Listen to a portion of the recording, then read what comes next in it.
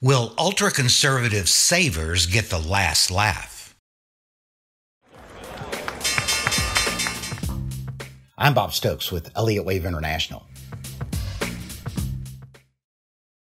This era of ultra low interest rates has been tough for those who choose to put their money into savings accounts or money market funds. Many people who are financially conservative do not want to risk losing one red cent in the stock market.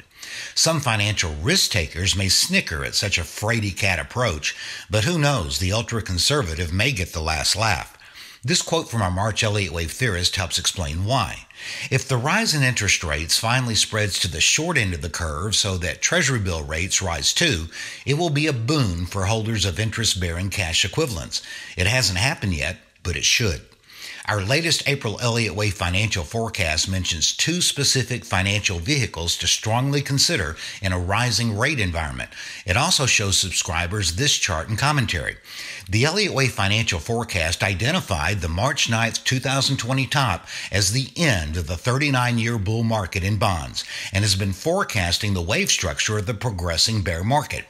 The first quarter of 2021 was the worst total return quarter for U.S. Treasuries in 41 years since 1980, according to the Bloomberg Barclays indexes.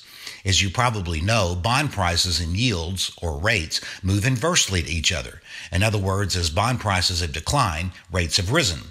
Getting back to that last laugh mentioned in the title, if the Elliott Wave model is correct about stock market prices, the financially conservative may see their day in the sun, and it might arrive sooner than many financial observers expect.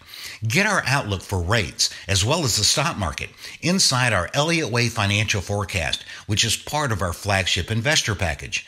Get started by following the link below this video.